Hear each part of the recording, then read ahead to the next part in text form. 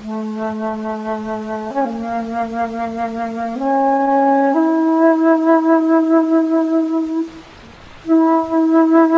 you.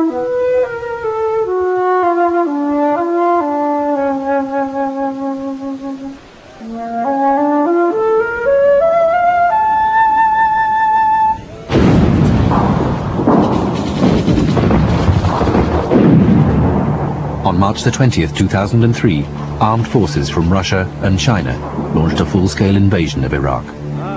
Moscow and Beijing claimed the support of two other countries, including the Marshall Islands and Rwanda, in a coalition of the willing. The attack was immediately condemned by France, with Britain and the United States questioning the legality of the invasion and calling for urgent action from the Security Council.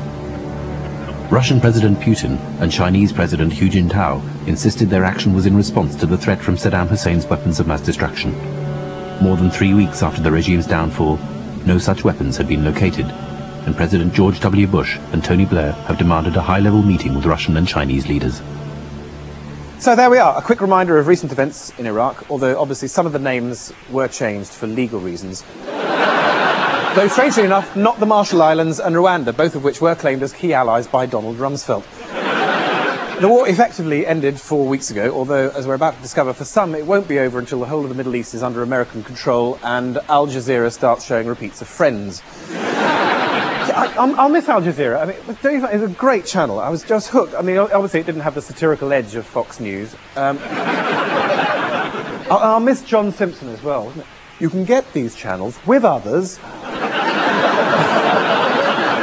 Wouldn't it have been fantastic if, you know, he took his face off and there was Saddam. Bin Laden. Dot Cotton, you know? It was an extraordinary war in many respects. The first time reporters had spent the war embedded with frontline troops. The first time a British Prime Minister had spent the war embedded in the President. They haven't found any weapons of mass destruction, the official reason for war, but they did manage to find four letters about George Galloway. Well, I, I used to go to sleep at night counting Iraqi civilian casualties. I, uh, I can't do that anymore. There aren't enough of them. You know, I get to 1750, 1780, it's uh, still 11 o'clock. You know, Letterman hasn't started yet. So the war may be over, but battle for hearts and minds is proving harder. Let's face it, it's a bit difficult to win Iraqi hearts and minds when you leave their hearts in one place and their minds in another. But that doesn't stop them from trying. So let me get this straight. We're going to beam this into their homes. That's right, sir. It's hearts and minds. So what have we been showing them up to now? Mostly reruns of I Love Lucy. Has that been winning their hearts? Right now, it's driving them out of their minds. Don't forget, this is the cradle of civilization, sir. The greatest names from our earliest history came from this part of the world. Fred Flintstone was an Iraqi? They need you, sir. So what do I have to do? It's all there on the screen for you, sir. You just got to show your face. They, they haven't seen you for a while, and they're wondering if you're still alive. So I just have to come over like I usually do?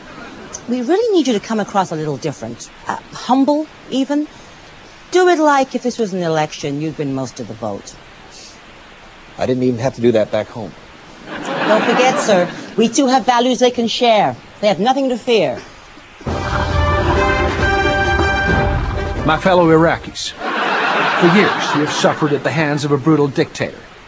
Suffered as your family and your loved ones were killed or disappeared to places you were not able to see them. And all that time you were fed a constant diet of propaganda on state-owned television as your rulers used the power of the media to promote themselves and the so-called benefits of their regime. Those days are gone.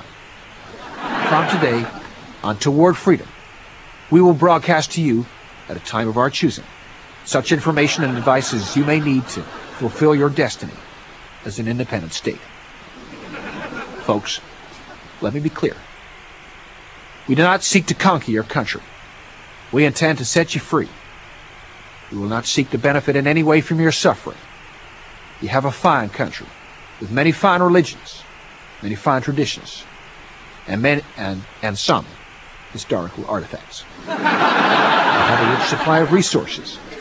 We do not seek to exploit those resources nor take from your country any more than is strictly necessary under the normal and accepted rules of international trade and shareholder value. Be assured of one thing.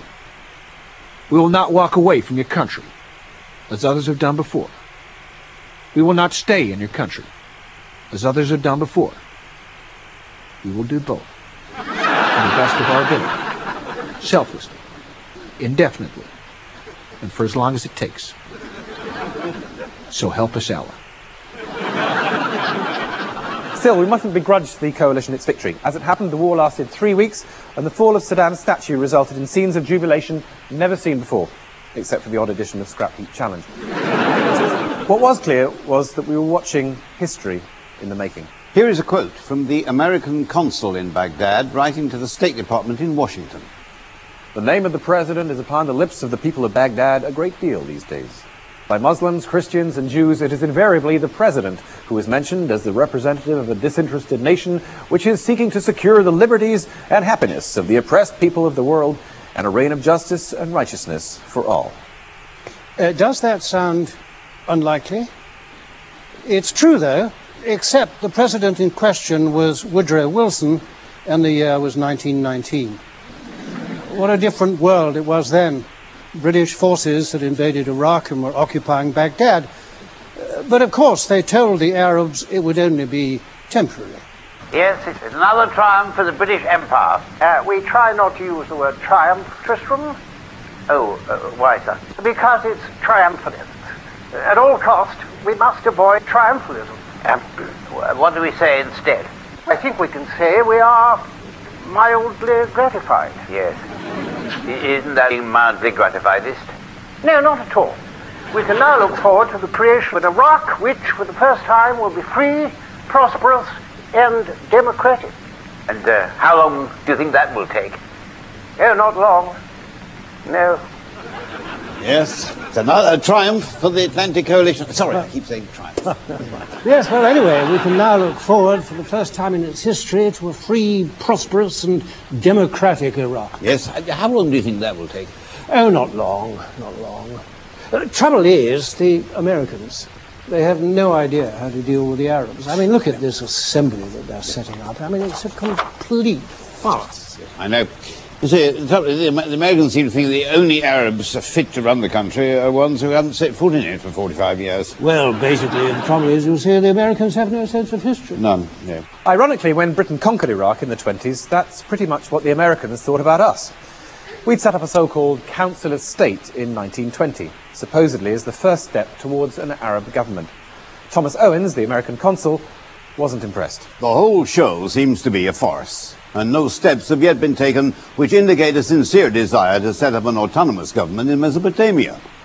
Something had to be done, and the man to sort it out was Winston Churchill, then colonial secretary. He immediately called a conference of all the foremost experts on Iraqi affairs. Here is a photograph of them. If you look carefully, you can see that two of them were actually Arabs.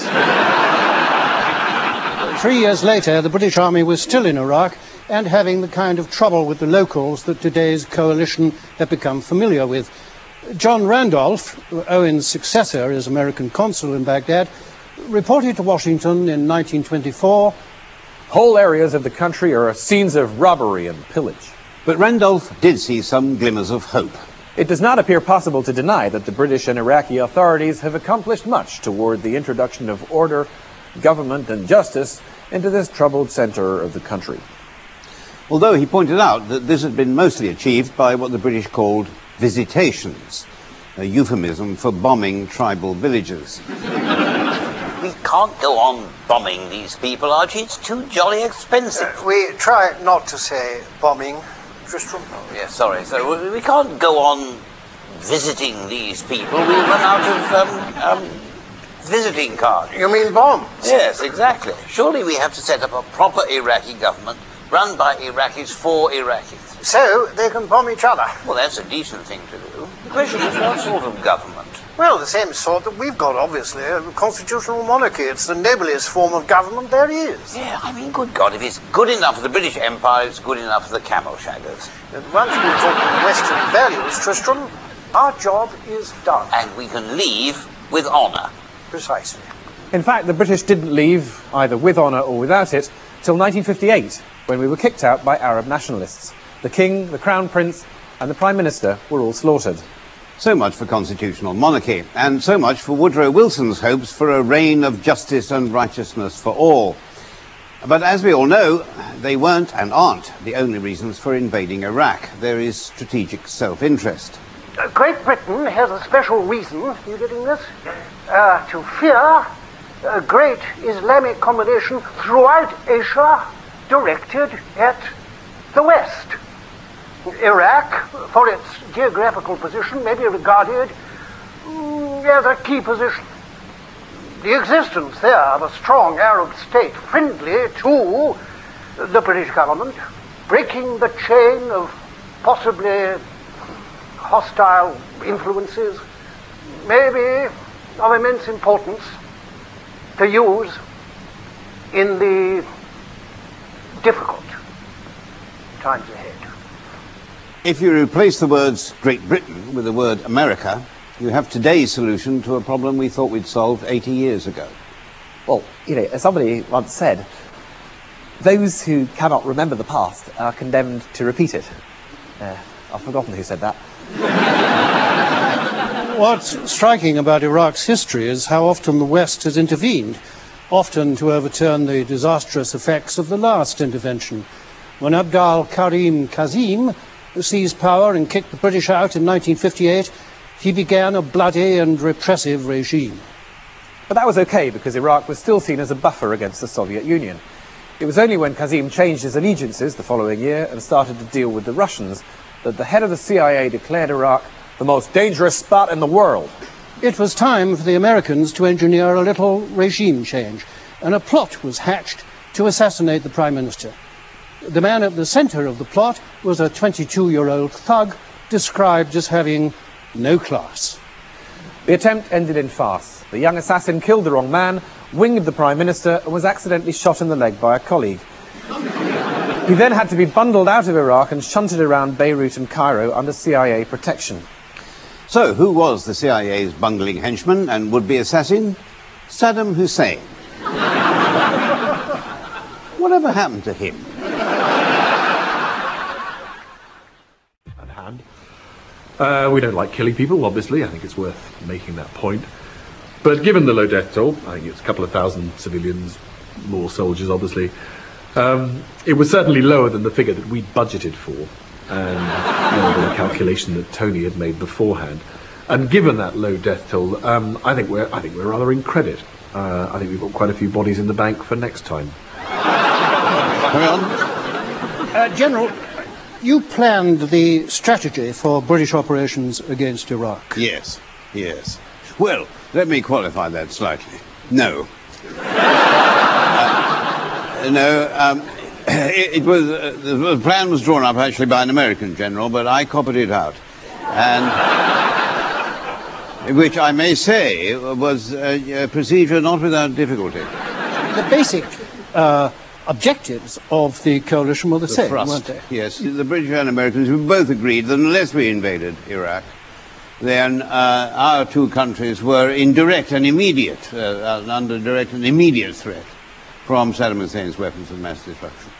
And uh, what, uh, what proof do you have of that? Proof? Good Yeah, God, proof? well, it's absolutely clear, isn't it? I mean, we, we invaded Iraq, and as a result, we haven't been in, uh, attacked by Saddam Hussein. I mean, I don't see what more proof you, you want. No. um, perhaps not. But um, people might say, you know, the war's Yes. been over now for seven weeks. Yes. And yet you haven't found any weapons of mass destruction. Oh, yes, that's Now, what they're always. That's what everybody says. But what is the answer to that? A complete and conclusive answer to that question was given by the Secretary of State for Defense. Geoff Hoon? I'm afraid so. Um, in in a, a, a radio interview, Radio 4, on the 24th of April. And he said the reason that we haven't found the weapons of mass destruction is, uh, is that Saddam Hussein had so much notice, so much warning, prior warning of our uh, uh, invasion, that he had plenty of time to dismantle these weapons and bury them in remote parts of the country. But then, I mean, some people might say that if he had these weapons of mass destruction when we invaded the country, why didn't he use them against the coalition forces? Ah, well, no, the Secretary of State had a complete and conclusive answer to that as well in the he? very, very same interview. And he said the reason that, that, uh, for that was that Saddam Hussein was taken so much by surprise. uh, and had so little warning of our attack that he was unable to organize the use of these weapons. Yes. Um, could I just uh, point out as gently as I can that um, those explanations are mutually contradictory? What does that mean? Well, it means that you can have one explanation or the other explanation, but you can't have both. Well, have the one you like. I don't mind. Uh, you're very lucky, I, it seems to me. It's, well, all right then, if you don't like those. What about this one? Um, what about this one? Uh, The reason we found any weapons of mass destruction is that they may have been accidentally destroyed by our weapons of mass destruction. Well, I suppose that is possible. Well, there you are then. And I made that up entirely myself. Really? Can I ask you, um, if the um, conflict is extended Yes. and um, we're going to invade, what, Syria and possibly Iran, I mean, would you support that? Well, no, you, you know, the Chief of the Defence Staff, Admiral Boyce, has made it crystal clear to Mr. Blair that, that he, he can't have another war for two years. But won't that rather restrict the Prime Minister's choice of action? Well, that- that's, that's his problem. He's got to deal with that any way he can. Hi, uh, my name's Tony. Hi, Tony. Hi, Tony. Hi. And I'm a warmonger. Mm. Yeah. yeah. Feel awkward. It's the first time I come to a meeting of Warmongers Anonymous. But you know, I, I haven't had a war for what, three, four weeks now. Mm. Yeah, But it's just, you know, it's just that thing about, you know, are you going to relapse? Because, you know, I, I just thought I could handle it. You know, I just thought, well, you know, one war won't be a problem. And oh god, I had what five in the last six years. And I know they say that you should keep way away from awkward, difficult situations and dangerous situations, but you know, it's not always easy. I'm in the Security Council, and, and, and you know, I can see all the people sitting there, all the different nations, and I just kind of get this urge to bomb them. Um, I've just got to get a grip, and I've I've been told that you know if I if I have a war, even just a little one, in the next two years, then it'll be curtains, not politically. So I've just got to you know, take it one one day at a time, really. So now the rebuilding of Iraq can begin. As any builder will tell you, before you start building, you have to knock down what was there before. Done that. As the Americans turned a blind eye, preferring to guard the more significant Ministry of Oil, Iraq's national treasures were looted. Thousands of years of history disappeared overnight, lost forever to looters who, in many cases, knew exactly what they were looking for. Who knows? It might even end up in America, whose Council for Cultural Policy, set up just before the war, had already objected to Iraq's policy towards its archaeological treasures, describing it as retentionist. But now, thanks to the American military, Iraq can be rebuilt. What does George Bush make of that? I'm worried about the fact I'm running against an opponent who, in the same breath, talks about the U.S. military and nation building. That was three years and two wars ago. But George Bush is developing a taste for nation building. We will work to help Afghanistan to develop an economy that can feed its people in the best traditions of George Marshall. But somehow Afghanistan seems so last year.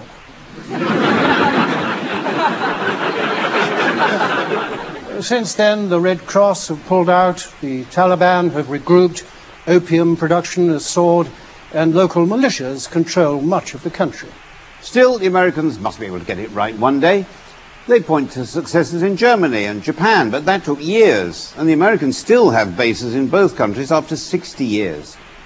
Back in Iraq, the Americans say they want to be out in 60 weeks. The Arabs want them out last Thursday. The problem is, if they do go quickly, they risk leaving anarchy or a hostile Islamic state. What do they do? Hand over to the United Nations? They'd sooner give it back to Saddam Hussein. Well, at least he's not French. To quote White House spokesman Ari Fleischer, we will remain as long as is necessary, not a day more, but as long as is necessary to see a transition to a unified and peaceful Iraq. All the Sunnis hate the Shias, and the Shias hate the Sunnis, and the Muslims hate the Christians. It's enough to make a general cry, but it's Iraqi democracy, something you've got to see. Hundreds of hostile groups will live in perfect harmony now. Saddam Hussein is gone. It's rule from the Pentagon. It's Iraqi as Big Mac and apple pie.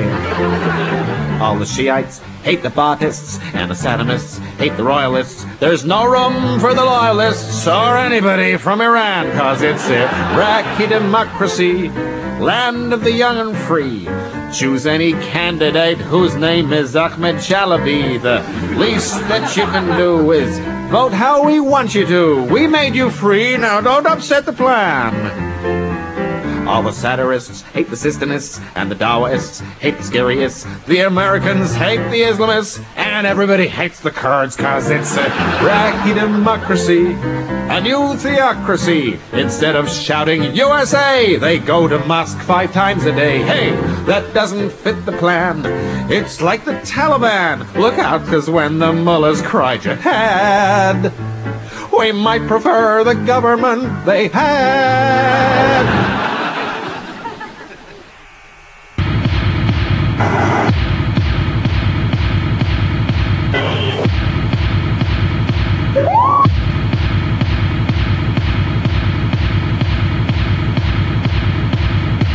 Dispatches, The Killing Zone, Sunday at 9 on 4. Well, for me, the, the, the worst moment was just before the war, when uh, Tony told me that if the vote went against us, we both had to resign, um, like a joint suicide pact. And um, th- that, that really got home to me. Um, I I think uppermost in my mind was, was, was the thought of all those poor people who could have suffered as a result. My wife, my children, naturally. Um, I think they would have felt the most appalling loss of income. And uh, but also, uh, let's not forget my, my cleaning lady, suddenly deprived of, of her relatively generous six pounds an hour, more if she works weekends. And the au pair forced out onto the streets.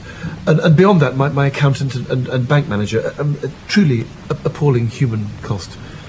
Of course, luckily that didn't happen. Uh, I survived. Um, the milkman got paid at the end of the week, and the order for the new city wasn't cancelled.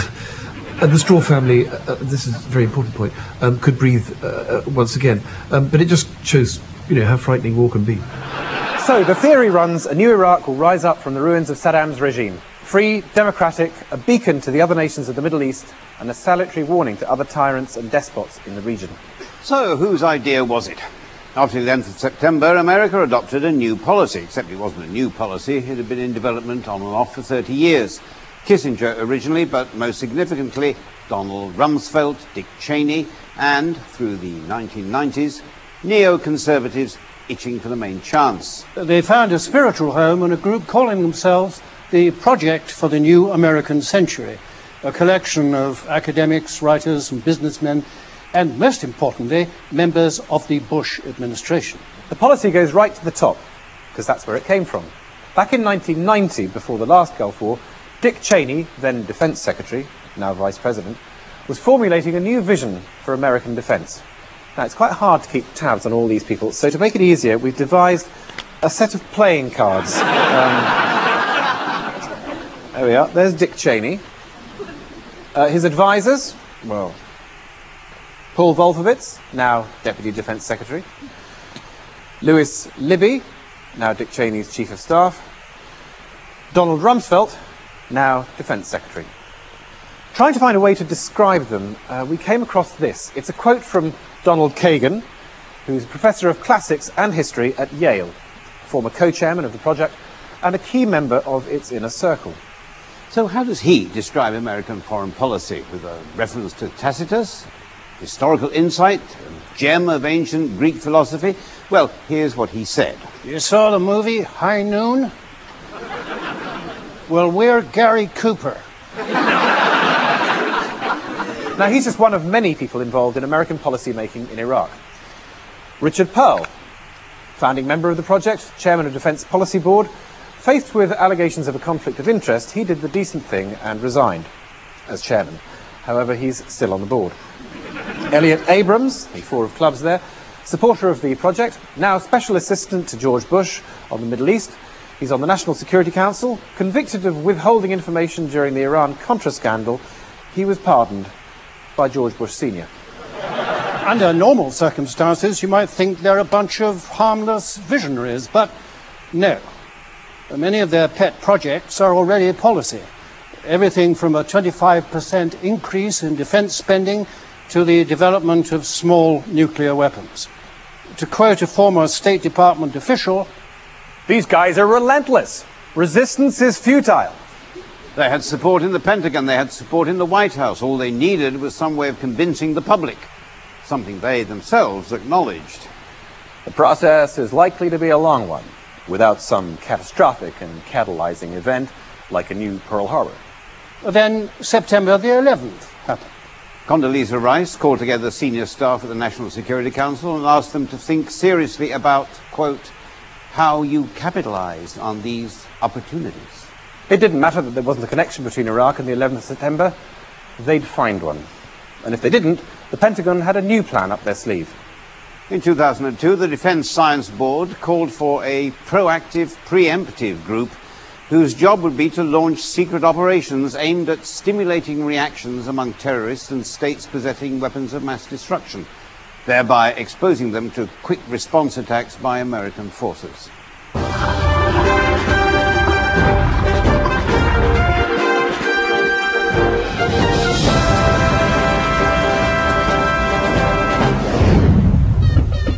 Need a vase? Need it in a hurry? You need Al's Vase Rental. Al's Vase Rental can service all your vase needs. Plus, we deliver free. Also available, photocopiers, office chairs, pictures of Saddam Hussein, and a wide selection of Iraqi state paperwork. Well, later tonight on Towards Freedom TV, it's a special edition of Friends, starring Ahmed Chalabi, Ariel Sharon, and George Bush. And that's followed by comedy cartoon capers with Mr. Hoon. People of Iraq, some of you may have become aware that during the liberation of your land, a small amount of collateral damage was suffered by your country's infrastructure. But hey now, here comes the good part. Because U.S. companies and their shareholders care as deeply about rebuilding your country as you do. And they are now offering you the chance to join them in creating a brand new Iraq. Just as in the past, we created the great cities of Rome or Paris or Disneyland. Perhaps you have a skill street sweeping or carrying bricks or serving beer. If you do, the U.S. Reconstruction Program for a New Iraq PLC has literally thousands of jobs in the vital reconstruction, retail, and leisure sections of the economy just waiting for you. Companies are currently recruiting in your area. Big names like Bechtel, Parsons, Fluor, Domino Pizza. Why not work for Halliburton? This man did, and now he's vice president. So, if you have experience in pipeline building, infrastructure, battlefield clearance, or public relations, have one or more arms, and a poor memory for American names and faces, we want to hear from you. One thing everyone was very clear about is that America must not be seen as an occupying force. So the last thing they'd want to have is a general in charge. So they haven't. They put a retired general in charge, Lieutenant General Jay Garner. Now, he's got Patriot written right through him. His company provides the guidance system for Patriot missiles. Uh, not that he needs the work, as his company, L3, doubled its revenue last year as a result of the build-up to war. Already, USAID has started to issue requests for proposals, like tenders for contract, to selected companies, uh, notably Halliburton and Bechtel. They're very popular with the Republicans. In fact, 68% of campaign funding for Republican congressmen in 2000 and 2002 came from just five companies. By an amazing coincidence, the same five companies that have been shortlisted for reconstruction work.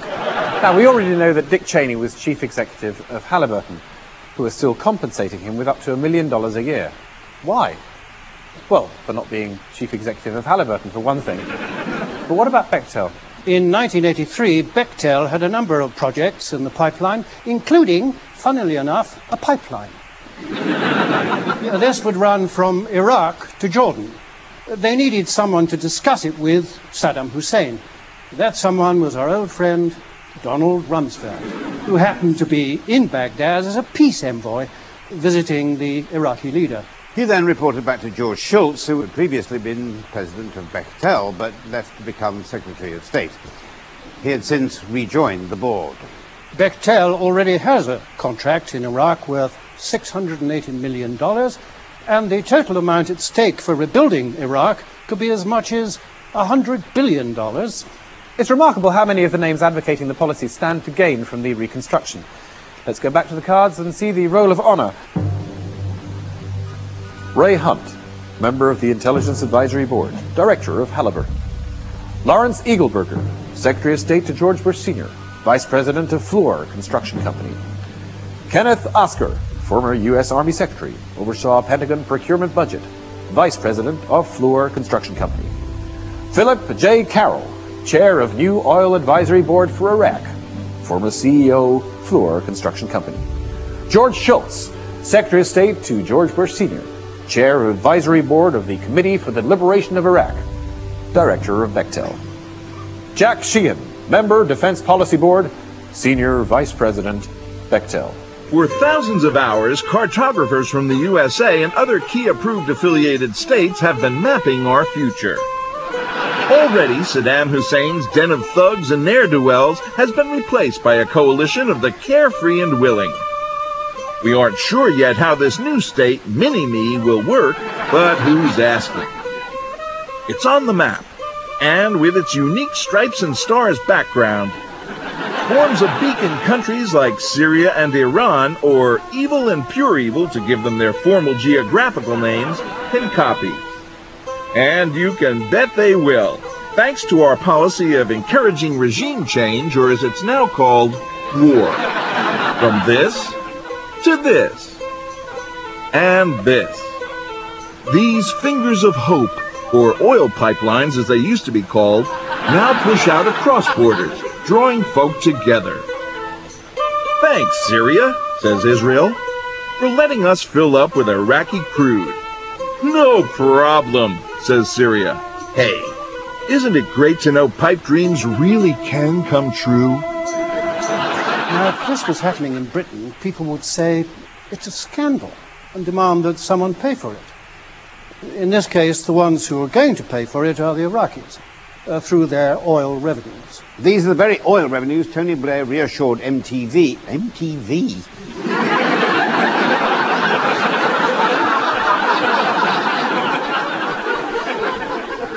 he reassured MTV that the coalition wouldn't touch.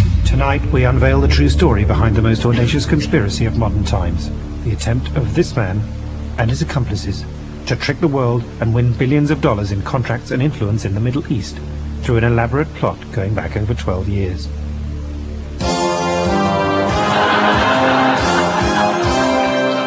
I, George Walker Bush, do solemnly swear. It was in January 2001 that George W. Bush finally made it through to the hot seat. So help me God. So help me God. I remember even, you know, when he first made it onto the show, actually, um, there was a lot of talk about irregularities, about flaws in the way that, you know, he'd actually got on the show in the first place. Was, I remember it was very, very close between him and one other contender. But at the last minute, there was this, it was like a huge surge of votes from Florida or somewhere like that, and, and they, they, they checked it back and they went over, you know, all, all the procedures. And um, he sort of, he just turned up, he managed to hold on to his place. It was quite extraordinary. George W. Bush wasn't the first person from his family to get on the show. His father, also called George, had already appeared in 1988. And nearly 10 years later, his brother Jeb got as far as Florida. But this time was to be different, and George W. Bush was determined to go all the way. I actually remember thinking, what an extraordinary person he was. I, I, think, you know, I think most of us were amazed he managed to get as far as he did. And the Prime Minister of India? Uh, the new Prime Minister of India is, uh, uh, no. By the 10th of September, he'd, he'd, he'd somehow got his way up to, um, I think it was about $16,000 or something. And, um, yeah, none of us thought he'd get any further. And then we had to break off because of the whole, um, you know, all the Twin Towers thing. And uh, he, he came back after that, and, and straight away, almost overnight, you know, there was something, there was something completely different about him. Okay, okay. Feeling good? Fine and dandy, sir. Fine and dandy. Okay, you've you got a plan? Yeah, I think I was uh, kind of too hesitant before. I was kind of worried about getting things wrong. Well, you're still here. In the studio, Bush had chosen to be partnered by Donald Rumsfeld. Rumsfeld had also appeared on the program nearly 20 years previously, on a couples show with the then President Ronald Reagan. He won the jackpot against all the odds with an incredible answer to the last question. Okay, you ready to play? Okay, so Saddam Hussein is a brutal and aggressive tyrant. Do you A. invade Iraq, B. introduce sanctions against his regime, C. go to the United Nations, or D. supply him with chemical and biological weapons? You know, I'm going to go for D. You're going to supply him with weapons? Sure. Final answer? Sure, final answer. Oh, Mr. Rumsfeld. The United States had a whole lot of contracts with Iraq. You can forget about those. You've now got a whole lot more. But Donald Rumsfeld wasn't the only supporter George Bush had in that night. Sitting around the stage, strategically placed in the rows of itchiest finger first candidates, were a number of influential advisors and aides, all of whom had links to a group calling itself the Project for the New American Century. I remember just after the show, we'd, we'd finished the recording. We're all in the, um, I think we we're in the green room, and um, and they showed us a list of, of names: Richard Perle, Dick Cheney, Paul Wolfowitz, William Kristol, and you know, ev- every one of them, you know, had links to this group of conservatives, all working within a few blocks of each other in Washington. As George W. Bush set about the last series of questions, it became clear that he was being guided by this tightly knit group. Just how far were they prepared to go? We'll take a short break. Okay, next question. Back in the hot seat, even with the help of his conservative allies, George W. Bush was still having trouble with the questions. Okay, let's play. What was the real reason for invading Iraq? Was it A, regime change? Could it be B, weapons of mass destruction? Is it C, oil? Or could it be D, links to terrorist organizations? Chris, I'm going to have to ask the audience. Okay, audience, you've got your buttons. Please press them now. oh, well, that's pretty clear. So, uh, they say oil, but they could be wrong, George. George Bush decides to go through all the answers. But listen carefully. Well, I remember someone telling me they were dealing with Al Qaeda. but on the other hand, it could be about weapons of mass destruction. I know they haven't found any, but that's uh, not to say they aren't there. on the other hand, it could be about oil or regime change. You gonna go for that, George? I don't know. There, there would have to be a good reason for regime change. You know, like, like liberating the people or something. No? Well, that'd be a bonus. Or maybe just simply getting rid of someone who's a threat. So what are you going to go for, George? Gonna go for a regime change. You're quite sure? Sure. You're quite right. It's the right answer. As the amount of money involved rises, the next question asked who would rebuild the country. Bush played the 50-50 option and was offered the choice between Iraq and the United States. Okay, George. There it is. You've got Iraq or the United States. Well, it could be the Iraqis. But I still think it could be the United States. Final answer? Final answer. He had contracts worth one and a half billion dollars. You've now got contracts worth four hundred billion dollars.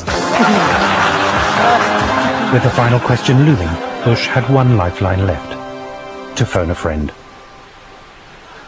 Well, you know, when Chris called me, he told me it was the big one. And, well, everything was hanging on it, literally. What should be the next priority for Middle East policy? Is it A, Syria? Could it be B, Israel and Palestine? Is it C, Iran? Or could it be D, North Korea? And I knew the answer had to be Israel. I mean, we'd even talked about it before at Camp David and subsequently. And I just, I knew it was vital that he got that peace process started as soon as possible. So you're saying Israel? Yeah, 100%. Thanks, friend. It looked as though George W. Bush was going to go for Israel. But at this stage, the soundtrack gives a remarkable clue. Well, he seems to think it's Israel. No, Syria. Korea. Clearly, Bush's accomplices are divided. Okay, it's the big one. The biggest question we've ever had on Trillionaire. Uh, by the way, George, what would you uh, what would you spend the money on? Oh, well, I don't know. Uh, maybe tax cuts. yeah, tax cuts. Worth a trillion dollars. A trillion dollars. It's a lot of money, George. You gonna play? Gonna play. Well, you're a brave man, George. Okay, he's gonna play. He's gonna play for a massive trillion dollars. Okay. Where does Middle East policy go next? Is it? Oh, I don't believe it. I don't believe. Oh no! After all. George Parr, you are a political advisor to the Prime Minister. I am. He, uh, he must be feeling um, rather satisfied at the moment. Oh, no. No. Oh, no. No, no. No, he always makes every effort to avoid feeling satisfied. You know, his life is a constant series of sometimes agonizing self questioning. Really? Well, he, he's worried that he's not doing the right thing. Oh, no, he knows he always does the right thing. Yes. No, what he worries about is that other people don't realize it. You see, sometimes people, for no fault of their own, uh, don't realize it. Because his overriding qualities are humility and courage, and he displayed those very vividly uh, in his relationships with the Americans in this very difficult time. What, by kneeling down in front of them? Um, Oh, no, no. No, sorry. No, by standing up to them. Standing up to them, yes. Um, Yes. As, as a moderating, as, as a moderating influence. Yes, it's on the record. Yes. I mean, he said to the Americans, I want us to have a second Security Council resolution. I want to have a Middle Eastern peace conference. I want to be consulted on the timing of the war. I want the UN to have a central role in the reconstruction of Iraq. Now, it takes great courage to say, this is what I want. Yes. And, and, and uh, what did the Americans say? They said you can't have it. No, no.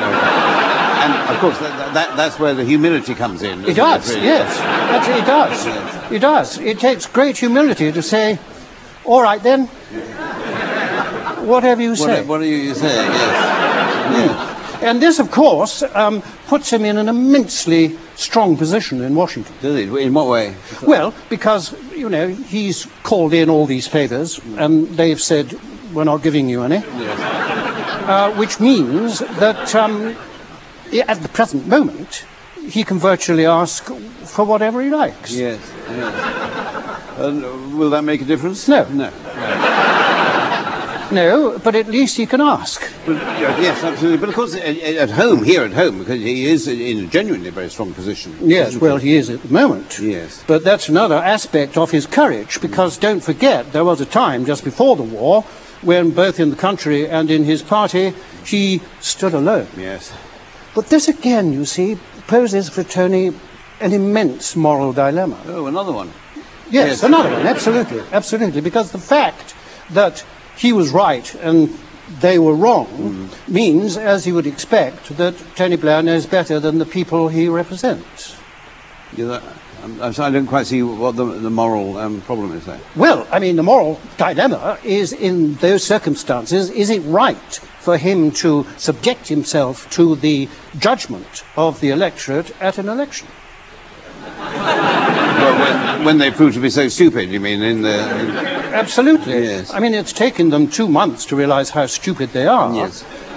Isn't it? I mean, and you can't take that risk. I mean, it all depends at what point in the people's cycle of stupidity The election, the election comes. Yes, yes. Because if the election comes when they're at their most stupid, I mean, it could be a complete disaster for the country. But, but under, under, under our constitutional processes, the, the Prime Minister more or less does decide, doesn't he, on, on the timing of the election? Yes, but is that enough? Because people can get stupid very, very quickly. Yes. You know, I think the safest course might be for the Prime Minister to decide on the timing of the election mm. and then the result. But that, that would certainly simplify matters, wouldn't It certainly would, because he would obviously do what was best for the country. Of course he would. And he is the one who, who knows best. He knows best, yes. George Parr, thank you very much. Thank you. knock, knock. Who's there? Osama. Osama who? That's American foreign policy. We know how much America supported Saddam and bin Laden before, but waging war on terrorism, having backed it, it's like raising pheasants with a shoot. I say, look, Clarissa, there's a brace of terrorists. It's after September the 11th. They're in season. You know, when I were a lad, we had American support. Intelligence, equipment, the lot. Is that all? We had three billion dollars from CIA to fund our resistance fighters against Russians in Afghanistan. Ah, Not but three billion. Aye. They spent that on us in a weekend. You know, they supplied me with millions of dollars of pesticides in one year alone. Anthrax, botulism, gangrene, dengue, sandfly virus, West Nile virus, plague. They supplied thee with plague. Oh, aye, pneumonic and bubonic. Yeah, pathetic. Do you know, they gave us a training complex with 35,000 Afghan mujahideen, plus weapons, guns, everything we needed to wage a 10-year guerrilla campaign that gives inspiration to anyone wishing to overthrow infidel occupiers. A, training camp? Aye. Oh, aye. You were unlucky. In 1959, the CIA recruited me. Eh, told me to shoot Prime Minister of Iraq. Well, I was nervous, I missed the bugger. But they got me out of country until it was okay for me to return to Iraq in 1963 after some other bugger did the job properly. Aye. And you try telling that to people today. They won't believe you. You see, look, American people see death and violence and terrible atrocities every day on the television screens. You know, Rambo and Lethal Weapon and what have you. Hey, some of those special effects are great. We should we should try some. And the reason that they can handle those things is that those are those are fantasies. They don't exist. And the more that I can do to turn the real war on terror into the same thing, so no one can tell the difference, the easier it is for people to stomach. You see? Okay, folks, I got to wind up from the floor. Uh, always leave them wanting more. What was that war? Last month, William Kristol, director of the Project for the New American Century, said The mission begins in Baghdad, but it does not end there. It is so clearly about more than Iraq. It is about more even than the future of the Middle East and the war on terror. It is about what sort of role the U.S. intends to play in the 21st century. What's really meant is what role the world will play in America's future. Why can this president not see that America's true power lies not in its will to intimidate, but in its ability to inspire? Not our words, but the words of Robert Byrd, an American senator and former member of the Ku Klux Klan. It comes to something when the most rousing words come from a man who used to wear a sheet over his head. He continued, We flaunt our superpower status with arrogance. We treat UN Security Council members like ingrates who offend our princely dignity by lifting their heads from the carpet. After war has ended, the United States will have to rebuild much more than the country of Iraq. We will have to rebuild America's image around the globe.